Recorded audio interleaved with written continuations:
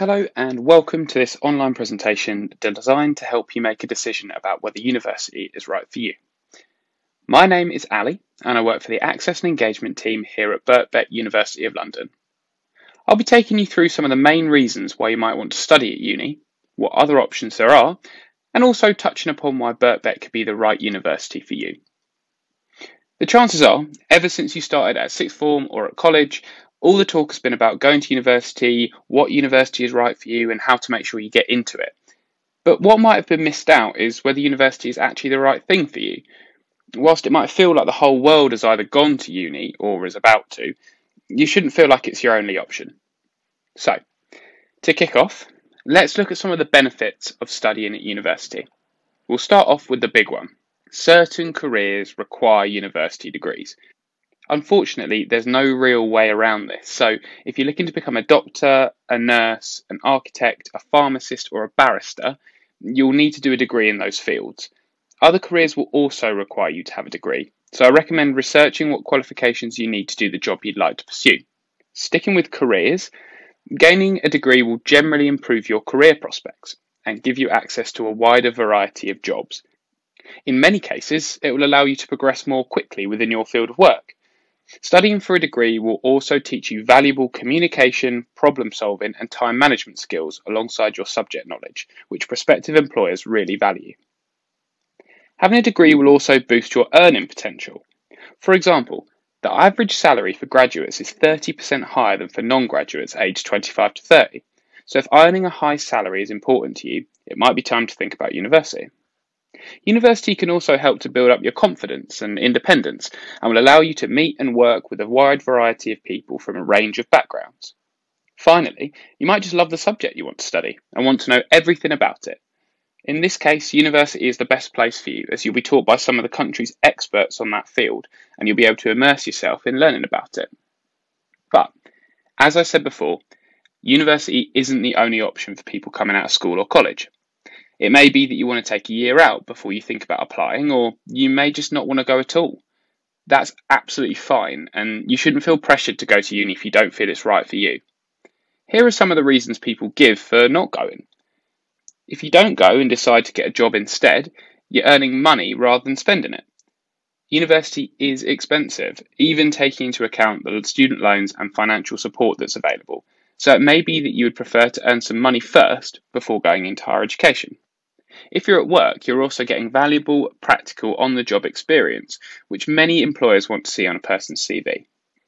Entering the world of work also means that you'll meet people who aren't just fellow students, which will give you the chance to learn and benefit from their experience. As for the potentially negative side of university, many people who feel a sense of pressure about going end up choosing a subject they aren't totally sure about studying, just to make sure they end up there. This can often lead to students being unhappy and resenting their time at uni. If I could offer one tip to anyone thinking of university, it would be to make sure you know what you want to study.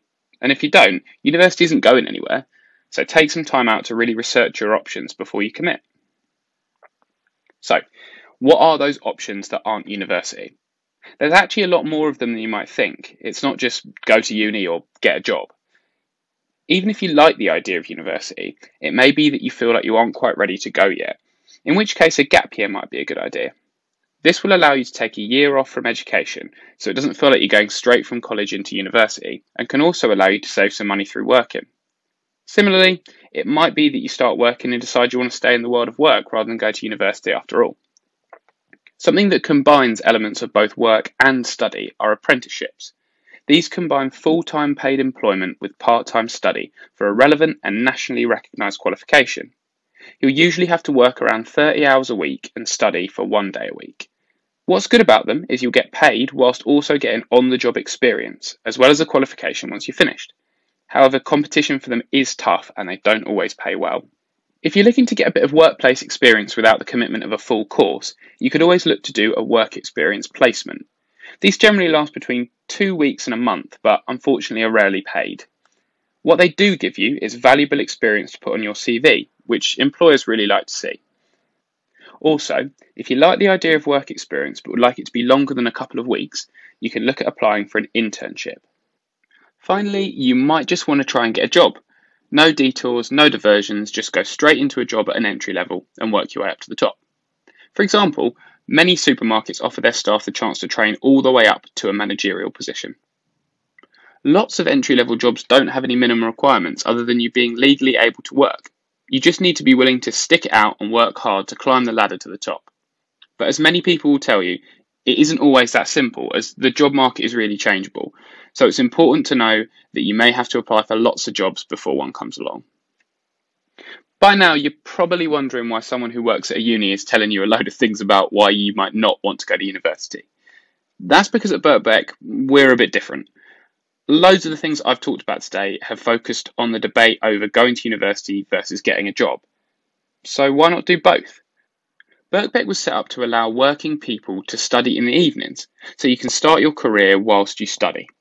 You attend lectures and seminars from 6 to 9 pm between 2 and 4 times a week, with a provision for online classes if necessary.